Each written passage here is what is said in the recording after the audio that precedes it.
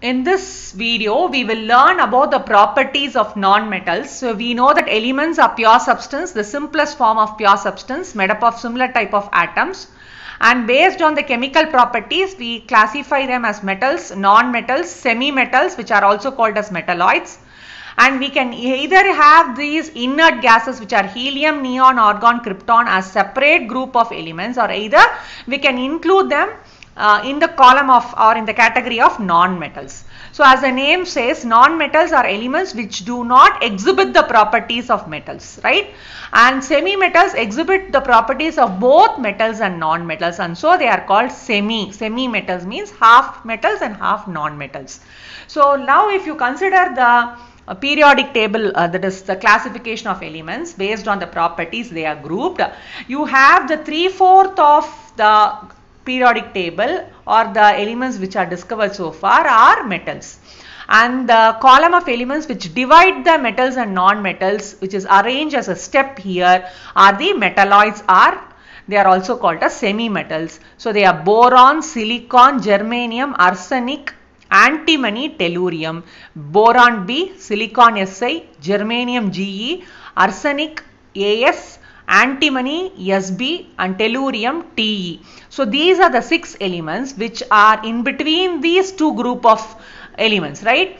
So they are semi-metals or metalloids. We use them in as semiconductors. Semiconductors means they are partial conductors or they don't conduct heat and electricity just like metals. So they just conduct uh, in a very fair manner. So we call them as semiconductors which are used in electronic items uh, like in your uh, computers, mobile phones and so on.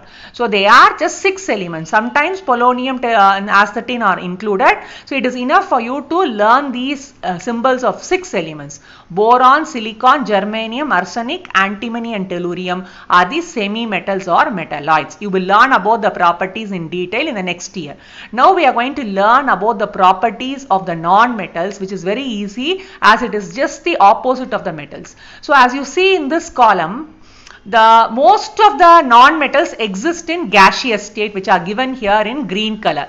They are nitrogen, oxygen, fluorine, chlorine and the set of rare gases which exist as gas right? They exist in gaseous state at normal room temperature and the only liquid non-metal is bromine. Are you able to see? Br is a symbol. Bromine is the only liquid non-metal. Similarly as you learnt in your previous exception of uh, metals which exist in liquid state at room temperature it was mercury hg is a symbol.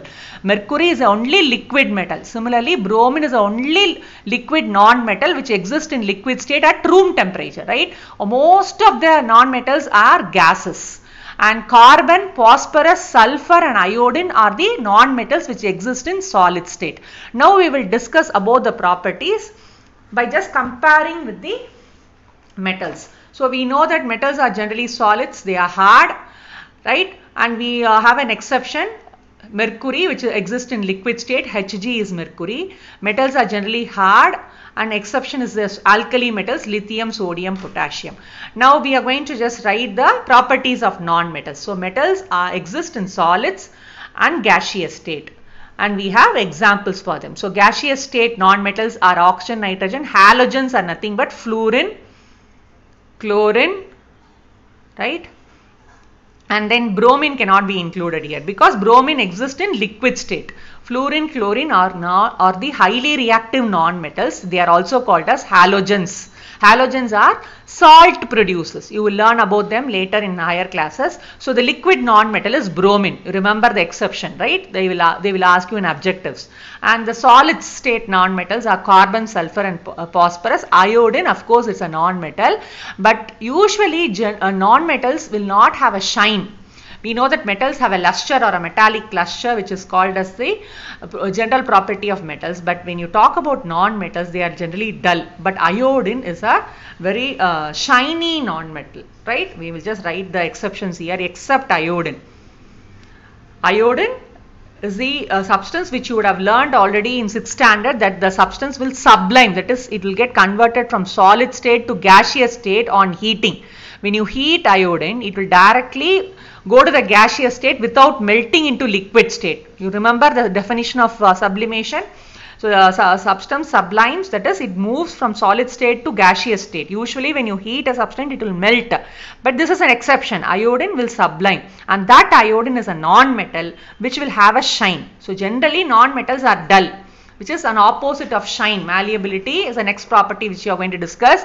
Metals are generally malleable, non-metals are non-malleable, right? Metals are ductile, that is you can draw them into wires. Non-metals are non-ductile, you cannot draw them into wires.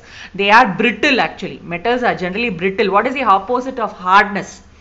Brittle. Brittle means it will break. When you hammer it it will break. So you cannot make them into a sheet or you cannot draw them into wires. If you don't if you cannot remember the spelling you just write cannot be made into sheet. Cannot be made into sheet. Cannot be drawn into wires. This way you can write right? Similarly you cannot make them into wires right? And uh, we have an exception here. Usually metals are brittle that is they are not hard as non-metals are brittle. That is they are not hard as metals. But you have an exception diamond which is the form of carbon. It is also an allotrope of carbon. It is a, another physical form of carbon. Diamond is a non-metal which is hard and it is used in cutting industry to cut other diamonds and glasses. Glasses. It is used in glass industry. So diamond is another exception of a non-metal which will be hard in uh, state i mean uh, hardness will be there. It will be very hard. It is used in cutting industry. And generally metals are good conductors of heat and electricity whereas non-metals are bad conductors of heat and electricity. Again we have an exception graphite. So where do you see graphite? Remember? Have you ever heard of this word graphite? It is used in the pencil lead pencil lead is made up of graphite and so it is again another form of carbon which conduct electricity. So graphite is another exception which you have to remember. So graphite is a form of carbon which will conduct electricity. It is a non-metal. So exceptions I have given you here, right? Now you recall the metals.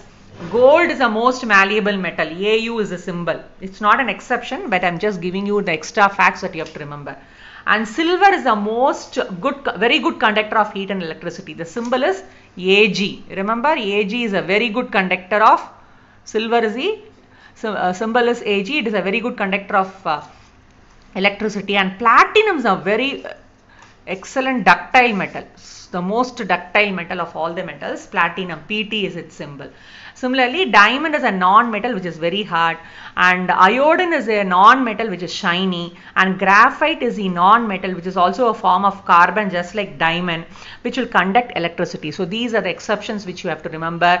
Just recall the properties of non-metals. Non-metals are generally uh, gases Exception bromine which is a liquid state and carbon, sulfur, phosphorus, iodine are in the solid state. Non-metals are generally brittle exception diamond which is a very hardest non-metal known right and non-metals Uh, are dull. That is they don't have a shine except iodine which have a shine and which also sublimes right? Non-metals cannot be made into sheets. Non-metals cannot be drawn into wires. That is they are non-malleable and non-ductile. Non-metals do not conduct heat and electricity. Exception except graphite which is also a form of carbon which will conduct electricity. So these are the properties of non-metals and metalloids as I told you ex exhibit the properties of both metals and non-metals. Example boron, silicon, germanium, arsenic, antimony this is Sb. Sb is antimony, tellurium, polonium. So learn the symbols. Sb is antimony. Antimony the, uh, the symbol is Sb it is derived from the Latin name stibium. We will learn, uh, learn the symbols and its uh, name from which it is derived in the next video. So antimony is denoted with the symbol Sb, tellurium, polonium. So learn the metalloids which are also called as semi-metals and learn the properties of non-metals which is very easy because it is an exact opposite of metals. Hope you followed. Thank you.